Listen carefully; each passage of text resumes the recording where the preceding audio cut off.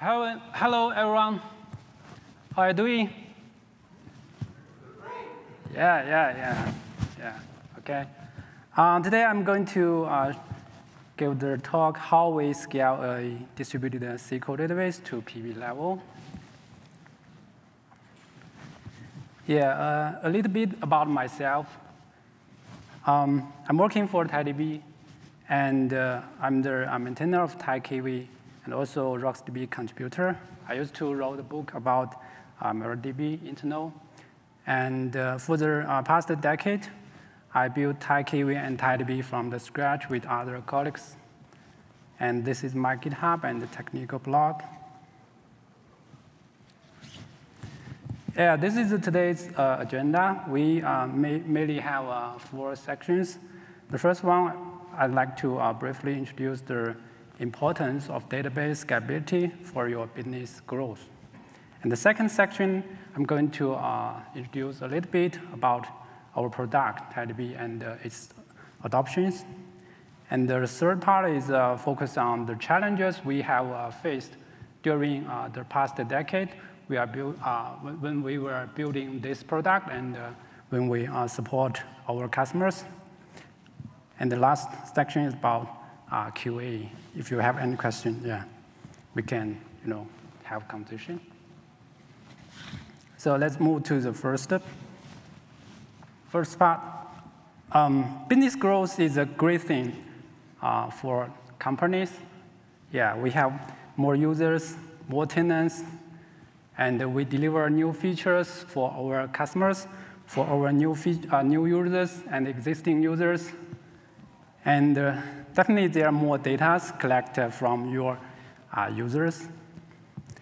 And from the technical perspective, there might some like challenges because uh, for your application server or for your backend database, there are more connections.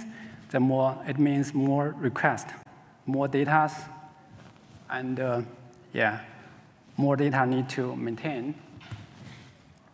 So uh, let me give an uh, real example to, uh, to show this more specific. Bolt is a uh, fast-growing mobility company from the Europe, and uh, they have around 100 million users. Yeah, it's a great, great number and they provide service in uh, more than 500 cities. And uh, since the pandemic, their business has 400% uh, growth. Yeah, this is a great thing for them. But from the uh, technical perspective, they also um, faced you know, some cha challenges. In total, they have hundreds of uh, terabytes to PB level data volume. And Every day they will have a 100 service deployment. And uh, they need to uh, do 100, you know, uh, more than 100 database changes. I mean, the schema change or uh, data migration every week. And uh, uh, every month there are more than like around five to 10 terabytes new data generated. And they use MySQL. So um, you can imagine, definitely they hit the you know, single MySQL instance size limitation. And uh, for some large tables, if they want to add some index, it will take them, uh, it will take them um, two weeks. Yeah, this happened in their, in their case. And uh, backup, you can imagine how long it will take. Yeah, and uh, the result is they need to maintain hundreds of uh, MySQL instances. This is their, their story. So uh, facing, when facing the um, growth challenger, the tradition, traditional solution is sharding. Yeah, um, you shard your database, you shard your applications, but this also means you need to have some compromise. Yeah, you need to rewrite your application's code. You need to you know, um, compromise some functionality, like if you want to uh, query some data across you know, the table. And you, you can imagine how to make a you know, consistent snapshot backup for your database if you have shared your data across uh, multiple nodes. All this is a you know, reality. We, uh, if, if we choose this solution, we need to face. So for the past decades, we focus on you know, solve, this, uh, solve these issues. We want to you know, build a SQL database. It's scalable. It means you can simply just add nodes for this system, and then everything can go. And uh, you don't have to change your application code, and you can use all the SQL you want. And um, at the same time, with the, even there is a large amount of data, we can, you know, we want to, uh, we want to achieve the low read and the write tail latency. And uh, of course, the system is high availability. So this is uh, the know, effort uh, for the past decade we uh, have paid. Yeah, this is where TiDB comes from. So what, what is TiDB? TiDB is an open source project, and you might be uh, familiar with TiKV. Yeah, it's a uh, CNCF graduated project.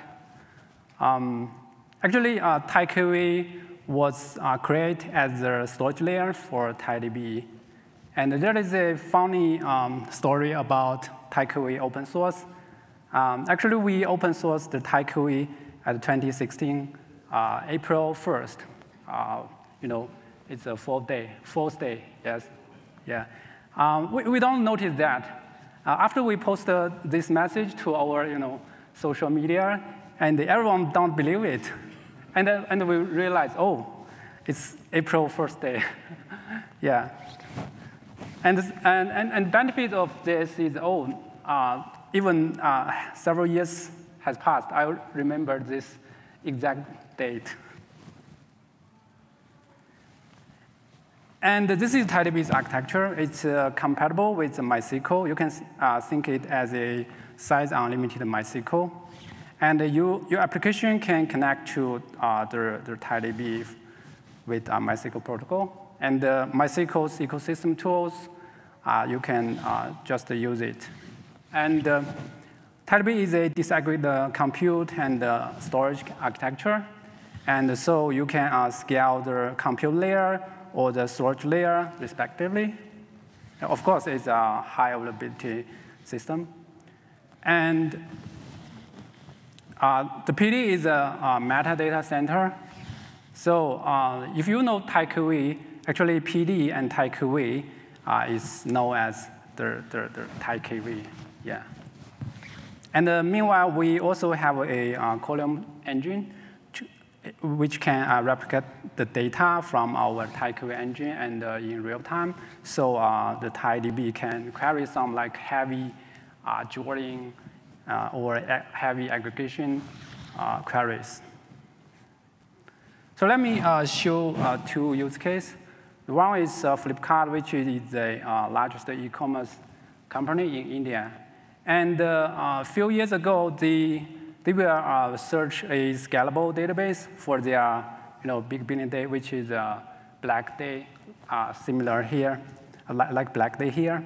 And they want a database that can you know, just add some nodes to the system and then the um, throughput of the whole system can you know, increase at the, uh, at the demand.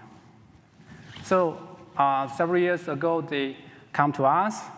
And now, uh, TiDB has, uh, with Flipkart, has experiment uh, two years, big billion days, yeah, and everything goes well.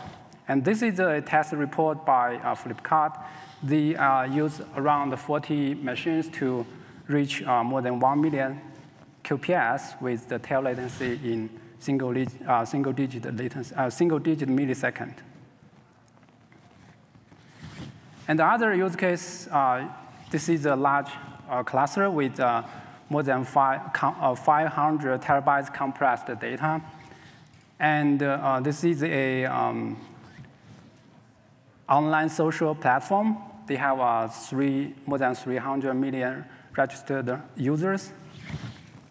And uh, what impressed, uh, impressed me is there is 1.8 uh, trillion records in single one large table in this case.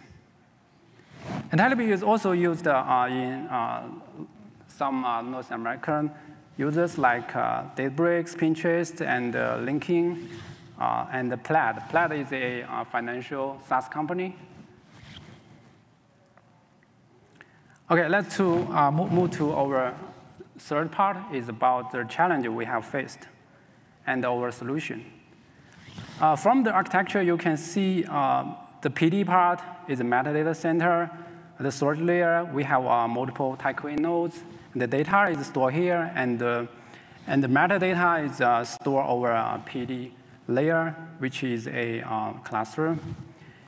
And what PD do is um, it need to monitor the health of the whole cluster. If there is some like TiKV is unavailable or has some uh, issues or network issues or disk issues, and then uh, the, the PD need to understand, need to, need to know it, need to recognize it, and then do the uh, balancing. Because data um, is replicate uh, across multiple TiKVs. So single TiKV's failure doesn't uh, impact the, the, the, service. And uh, the other way, uh, the, the other task the PD need to do is they need to cache all the you know, data range, location, and uh, leadership to, uh, to, to, to the uh, metadata center. So if there are, uh, so the request come and it can know where the connection need to connect. Because we, you know, we, we partition the data into like hundreds megabyte, megabytes size level, so if there, if there are, why we choose such um, size is because we want to the, we want the schedule is, is very fast. And if there is, you know, high workload uh, to one single partition, we can, we can, uh, you know, split it and, uh, and, uh, and, uh, and uh, rebalance, rebalance it. Yeah, and PD also can monitor you know, the workload of different uh, data ranges. This is, a, uh, this is a, uh, happen when TiKV you know, um, has some request, and TiKV will uh, collect statistics from different data ranges, and then report all these statistics in real time to, to the PD center, to, to the metadata center.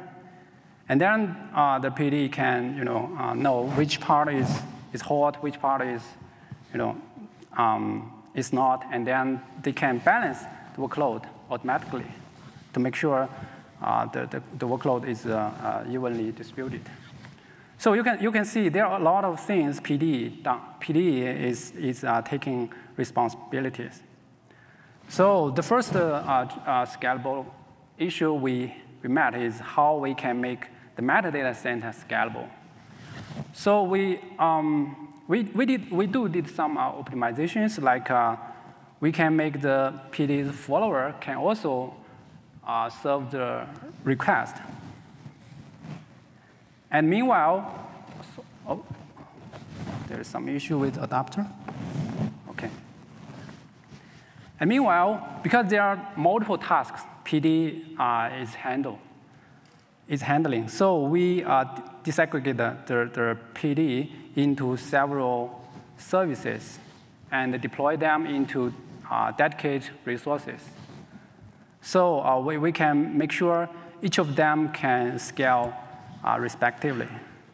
Like the TSO, which uh, is a time, time stamp service, and the metadata management service, statistics, and the scheduling service. And I, as I have just mentioned, uh, hotspot issue is a uh, common issue for a large distributed system. If there is, you know, single node or minor, minority node take, you know, the majority work, uh, workload from the whole system, then this node can be the, you know, bottleneck of the whole system. So how to handle it? We, I just mentioned that we can collect, uh, you know, the uh, statistics and the workload of different data partitions and report them to uh, the scheduling uh, service. And then the scheduling service can, you know, uh, can trigger the split and the balancing command to, to the, um, to the TiKV node. But there is also a uh, hotspot issue that, uh, the write hotspot issue that we cannot uh, you know, automatically handle. That is, uh, I, will, I will show, show you a, an example. If the data is always append to one single partition, append to the tail, we have no idea. We, we, don't, we, we, don't, we cannot you know, automatically split them and balance by this way. We cannot handle it. And for the read part, uh, we basically are the same with, uh, with, uh, with the write part, but there is some uh, slight uh, difference. For example, if, if there is a high throughput for a single data partition, it's already is small. Like there is a, there is a 100 row table, and it's very hot. And uh, our, you know, um, we, we introduced a feature named load-based split, and we can collect, uh, you know, uh, which row and which data range has has uh, specific high throughput, and then we can uh, sub, uh, report this uh, information to the scheduling system and then split. Even there is, the, the partition is already small, like 100 rows. We can split it in 10. Each one has 10 rows like that, and then distribute it to multiple TiKV nodes. Yeah, as a large system, there are hundreds of nodes. There are, you know, uh, millions QPS for the whole system. So we don't want to, you know, uh, if there are any issue, we don't want to, we, we, we want to know what is the root cause, yes? Which query caused the issue, or which node is the current bottleneck. So the observability is very important for large system. And we did a lot of effort on this. And uh, you can monitor the uh, cluster level informations, like how many nodes you have and uh, how many data, how much data of each node has, and the resource usage, the latency distribution, and the uh, QPS. And even uh, we have the proportion of different statements. Meanwhile, um, if there is a hot issue, hotspot issue I just mentioned, you can, you can, you can find out from here the CPU of, uh, of a single node or the I.O. of a single node is very high. But how to locate, how to identify which SQL or which uh, table has this issue? Yeah, this is the next step. So we introduced the key visualizer, which can uh, show, you know, show the throughput of a different data range. And then uh, from this picture, you can see there is a bright line, which means this uh, this data range has high throughput. And you can uh, tell which, which like database, which table, and which index caused this issue. Yeah. Uh, this table, this is a bad example, uh, just that I, I have mentioned. This write hotspot issue, we can't you know, handle it automatically because it's a bad design for a, uh, in terms of you know, distributed system. All the, you know, you can imagine all the write of this primary key index will happen in one place.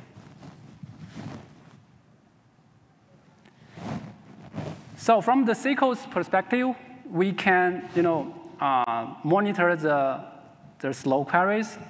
In our system, we name it the top SQL, which means uh, this SQL, they consume a lot of uh, resources. And uh, we also have the SQL statement, which, um, which can show you the dominated SQL query pattern from your application. Yeah, this is a, uh, you know, with, static, with statistics um, from the, you know, frequency uh, perspective. So after you have located, for example, you have located the, um, the, the, the top SQL, and then you can click here, and then we can show you know, the execution plan of the, of the SQL, and uh, you know, um, what's the query plan, and uh, each, each step, how many you know, rows it has scanned, and uh, how many resources it had taken, and how, how much time it had, has, has taken. And the next uh, challenge uh, is option, uh, operational challenge for a large uh, database, especially SQL database. So you can imagine, I want to load a large amount of data from S3 into the system and serve my application. I want to you know, back up the whole system to make sure, uh, even we have multiple replicas uh, in, in TiDB, but I also want to, most of the customers want to back up their, their um, database periodically. And what if we add index for a large table? Yeah, this all, this all are you know, operational challenges for us. And for the load data, we uh, introduced the, the uh, dis distributed uh, execution framework, which can you know, um, translate the Parquet file, SQL file, CSV file into the TiKV uh, data format, SS table format, and then ingest it to our storage layer. And you, uh, you, you, can label you know, the compute node. So this heavy job can just happen on this node you have labeled. Let's uh, see a result, test the result. This is a uh, table from our a real customer, has uh, 55 columns with uh, five indices. And there are around uh, 100 terabytes data from the S3 and uh, they use 12 TiDB nodes. Each node has 16 core, uh, 16 vCPU. And it took, uh, took around 31 hours. It's not bad. Uh, but I want to highlight is if you have more TiDB nodes, the total time can be uh, linearly reduced. And the next uh, is adding index. It's similar as the import uh, we reuse the distributed execution framework. And uh, the difference between import and add index is the data is already in, in, in, in the system in TiKV. So we can uh, just uh, scan the data and uh, uh, generate the final SST files and ingest to, to TiKV. Meanwhile, there might some new insert for this table, so we need to do the incremental KV uh, I mean the, the, the um, index KV and uh, write into our system. And this is a test result from, um, from, from a table with uh, 40 terabytes data. And we create the index with uh, 14 TiDB nodes. And uh, from the first line, you know, it takes around uh, one hour to finish the job. And you can see the last line, this is a you know, a single node mode. It means the add index is just run in one TiDB node. It takes around 14 hours. Yeah, it's linear scalable. And the second row is about, you know, use one single statement to add five index at the same time. It took around one hour and a half. It's not four hour. Because all the you know, index is from the same table, so the scan just uh, happen once.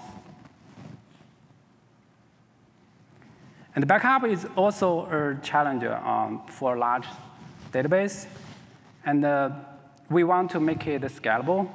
So uh, from the storage layer perspective, each TiKV will, you know, um, for the full snapshot back, each storage node will up upload the snapshot SST files to uh, S3 simultaneously. And we also introduced the rate limit on our uh, TiKV internally, and we can you know, limit the, the resource and the throughput of each TiKV used by this backup job, so we can make sure the latency of the online traffic is acceptable. Yeah, meanwhile, we also have the incremental backup. If you already have uh, take a snapshot for backup, And then uh, each TiKV node will uh, incrementally um, upload the you know, uh, incremental changelog to, to object, object storage.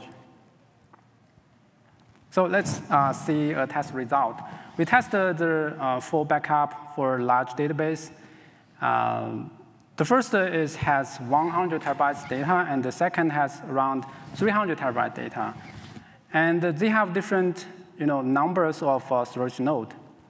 And uh, each node has, uh, you know, for the first uh, cluster, each storage node has 2.6 terabytes data. And the total time of the full backup takes uh, 45 minutes. And the second test takes uh, around one hour and four minutes. And uh, it's not three times of the 100 terabytes test because um, we have more storage nodes. And uh, actually, the total you know, time cost by backup is, uh, is uh, um, it has a relationship with how much data each storage node has. Because from the mechanism, you can see all the you know, storage node can do the work simultaneously at the same time. It, the uh, recent uh, you know, uh, challenge we are facing is a noise neighbor challenge because as a you know, scalable SQL database, our customers, they consolidate multiple uh, MySQL instance into the single one TiDB clusters. And there, there might be uh, multiple applications running in the same systems. So if there is one application that uh, has large queries or heavy queries, and this may impact or affect other you know, applications. And also there are, the other you know, um, widely used uh, scenario is SaaS company. We have multiple uh, SaaS company customers. They have uh, multiple tenant, and uh, each tenant may have different workload. So how to you know, make sure uh, there, this you know, noisy tenant, if, if there is, cannot you know, impact other tenants. So we introduced the, the resource control feature, um, which is a, a feature can control the user from a specific uh, uh, tenant or application. And basically, the idea is we have different uh, strategy from the compute layer and the storage layer. And uh, we introduced the resource group uh, concept. You can bind uh, multiple applications into one resource group. It means this multiple applications share the resource in this resource group. And you, we also, you know, uh, you, you also can allocate a uh, dedicated resource group to a significant uh, like KA customer or KA tenant. And from the storage layer, we use the priority-based scheduling, which uh, we use mclock algorithm to, to uh, satisfy the resource you know, allocation. And from the SQL layer, we use like SQL flow control for different uh, users, from different users uh, in different resource group. Let's see the test result of a, um, of a use case. The left part is we don't introduce, you know, we don't uh, apply the resource control feature. And uh, the blue one is uh, we simulated the order, the order applications. And the yellow one is the you know, report application, which has a you know, huge impact for the online traffic, you can, you can think. And the, the right side of the picture is about, you know, we apply the resource control into the system, and uh, the other, you know, uh, application is, uh, has no impact, and the latency is, uh, the tail latency is um, kept in 15, minute, uh, 15 millisecond. Yeah. Okay, this is all I want to share with you uh, today. And uh, yeah, I believe the time has passed 30 minutes. Thank you for your time. And uh, if you want to discuss, you know, or discover how TiDB can solve your problems, you can scan this QR code. And uh, this afternoon, my colleague, Matthew, uh, from the applications perspective, how, you know, uh, how to scale your microservice with our, you know, scalable, stateful backend, you know, database. Thank you. Any questions?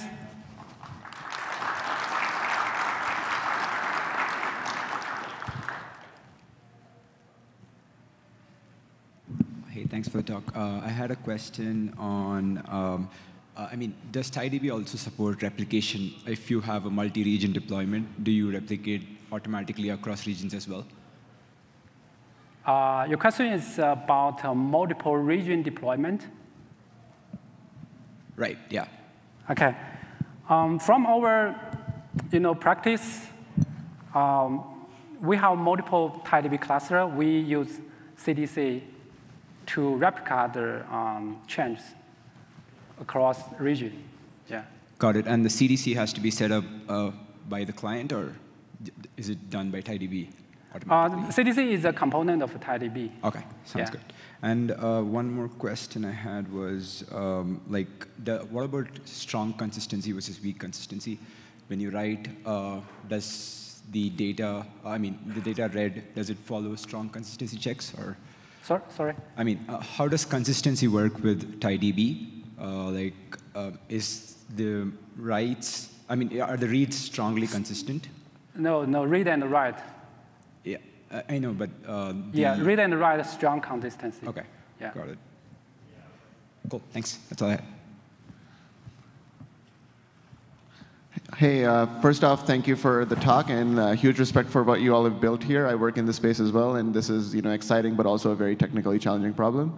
Uh, so the question that I have is about the PD part of that architecture diagram. Um, is it is it just like one? Uh, yeah, thanks for going to that. Is it just like one, you, I know you showed like one of them's a leader and the others are followers. Is that like one raft group?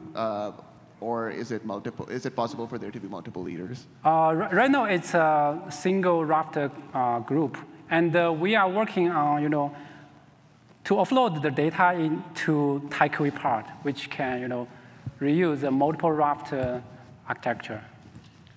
Yeah. Okay, that makes sense. This yeah. can further you know scale over metadata center. Cool, thank you. Thank you for your question. Hi, uh, thanks for the talk. Um, you mentioned backup and backup time, and I was curious, do you have any numbers or ballpark on uh, what uh, restore times and what the downtime for restores would be in similar scales? You, you mean the RTO of restore? What do you mean? You, you mean the restore Yes, so when you yeah, have yeah. the backups and then something happens with the cluster, let's say, and you need to restore it uh, from the backup. Yeah, it, it's a similar, uh, because you know, it's just the reverse, reverse um, process, procedure of the backup. Yeah. Um, but the, the specific you know, number is not the same, but they are the same level.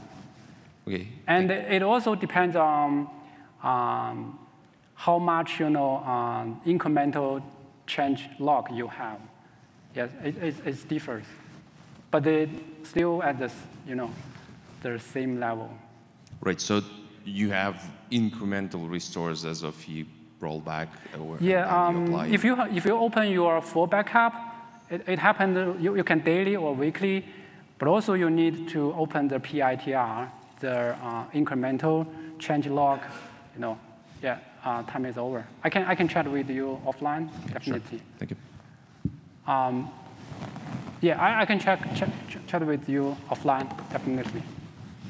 Okay. So, so sorry for, for